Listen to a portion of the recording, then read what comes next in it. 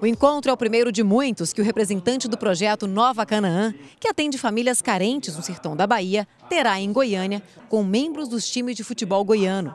Na oportunidade, o bispo Maurício Amaral apresentou ao presidente do Vila Nova, Essival Martins, uma das mais recentes iniciativas do projeto, a criação do Canaã Esporte Clube, que tem por objetivo formar futuros profissionais do futebol.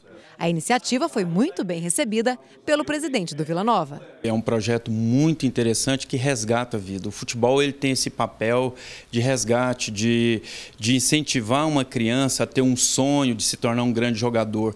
Se ele não se transformar num grande jogador, ele vai se transformar num homem né, livre das, das drogas, das, das grandes ameaças que as crianças carentes sofrem hoje pelo país. O Vila Nova abriu as portas para a gente também, uma, vai ser um grande parceiro com certeza porque o esporte é, é democrático. Um carrinho brinca só uma pessoa, uma, uma, boneca brinca só uma menina, mas a bola 50 meninos podem brincar. Então, através do esporte, a gente está procurando unir. O esporte une as pessoas.